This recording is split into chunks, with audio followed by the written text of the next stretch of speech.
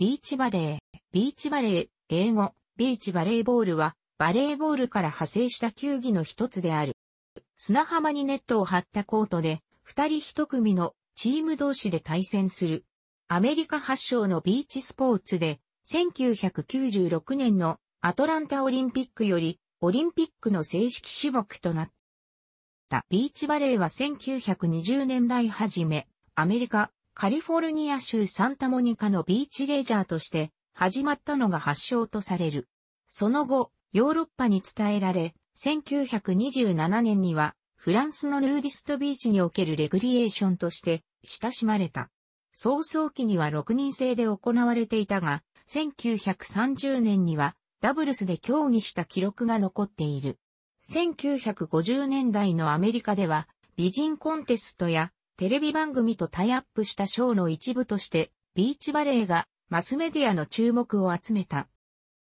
1960年、カリフォルニア州で第1回マンハッタンビーチオープンが開催された。この時期にフランスでもプロトーナメントが開催されている。競技団体の整備は1980年代に進み、1983年にはアメリカでプロ選手らが自ら運営する団体、アベップ、アソシエーション・オブ・バレーボール・プロフェッショナルズが発足した。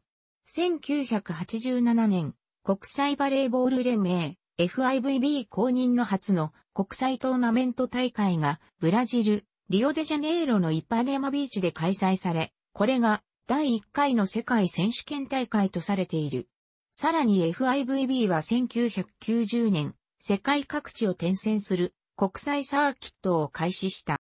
1992年、バルセロナオリンピック開催期間中には、スペインのアルメリアでも大陸から100人以上の選手が参加し、公開競技が行われた。これらの盛り上がりを受けて、1996年、アトランタオリンピックでは、夏季オリンピックの正式種目となっ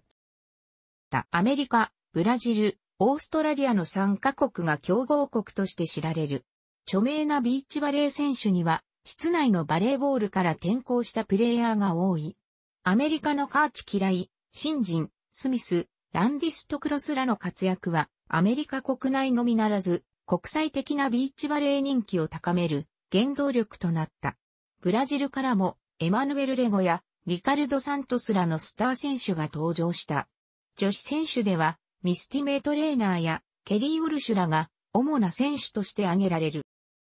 日本では河合俊一らが先駆となり、1987年、湘南、久沼海岸で第1回ビーチバレージャパンが開催されたのをきっかけに、ビーチバレーが広く認知されるようになった。1989年には、日本バレーボール協会が日本ビーチバレー連盟を発足させている。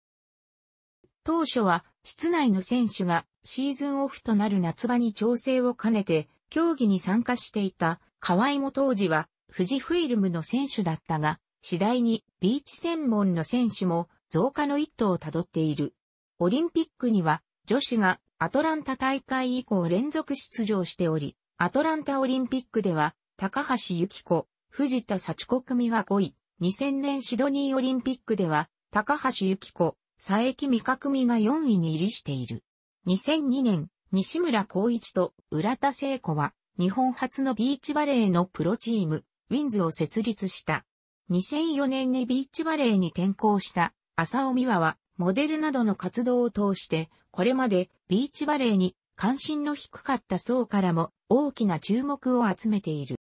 近年は、室内とビーチの相互交流によって一体的に強化を図るのが世界の流れとなっており、ビーチから室内に代わってオリンピックのメダルを獲得した事例も出てきている。日本でも近年、戦術の河合がそうした海外の状況を踏まえて、室内選手の獲得に動いているものの、戦力低下を恐れる室内側が強行に反対しており、現時点では、菅山薫のように、室内代表を外れ選手などが自主的に転向するにとどまっている。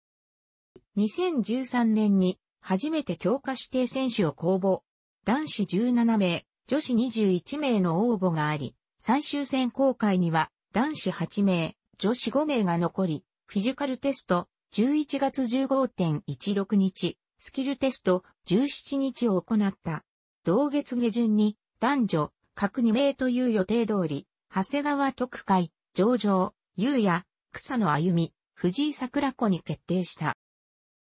1チーム2名の選手で対戦、室内のバレーボールのようなポジションは定められていない。ボールへの接触は3回まで、ブロックも含める。この回数以内で、相手コートにボールを返し、相手がボールを戻せなければ、得点となる、ラリーポイント制を取る。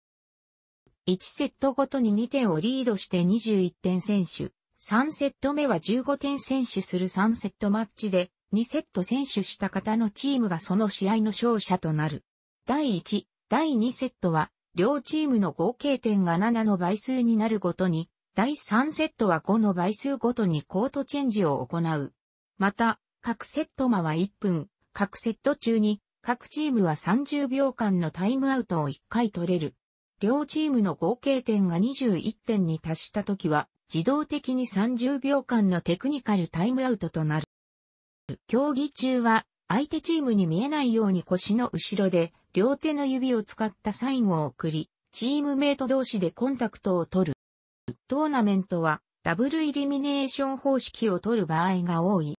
ボールの大きさは、室内で行うバレーボールのボールとほぼ同じだが、柔らかく、黄色やオレンジ、ピンクなど鮮やかな配色のものが用いられる。規格では、内気圧は0.30から 0.325kg、センチメートルと6人製のボールより30%ほど低い。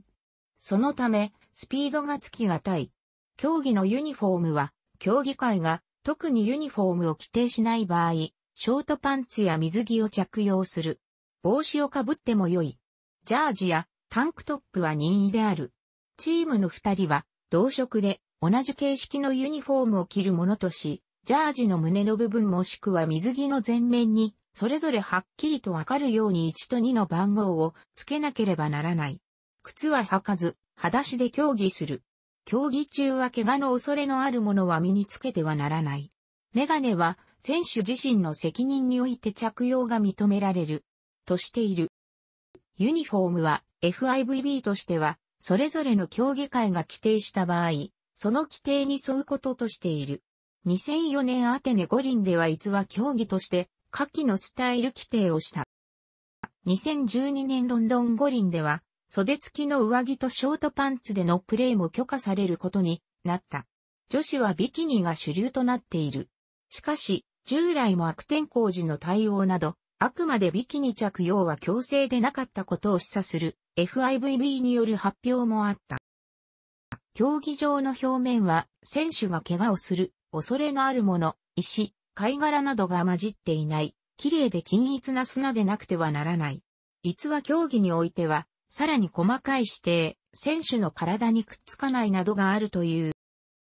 16メートル8メートルと室内のバレーボールより小さいコートを用い、中央に男子が2.43メートル、女子2.24メートルの高さのネットを張る。フリーゾーンはエンドラインから5から6メートル必要となる。夜間には照明をつけて競技する。日本国内にも湘南海岸公園をはじめ、ビーチバレー用コートを備えたビーチが増えている。バレーボールとは異なるルールがある。バレーボールにおけるクロス打ちをカット、ストレート位置をラインとそれぞれ呼ぶ。日本文化出版が発行する月刊バレーボールにてビーチバレーコーナーが設けられている。専門誌としてはかつてバレーボールマガジンの増刊号的扱いで、ビーチバレーマガジンが年2回発行されていたが、2008年をもって休刊。2009年には新たな専門誌、ビーチバレースタイルが創刊され、年4回発行される。同年には、ビーチスポーツ全体を扱う、ビーチマガジンも創刊されている。楽しくご覧になりましたら、購読と良いです。クリックしてください。